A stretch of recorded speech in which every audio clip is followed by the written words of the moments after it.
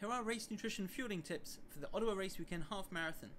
We recommend taking one bar about 15 minutes before race start to make sure you have uh, your race nerves calmed and to get energy levels up to carry you through the rest of the race.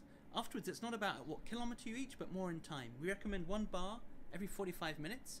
And remember, don't forget your protein for recovery, ideally within 30 minutes of finishing.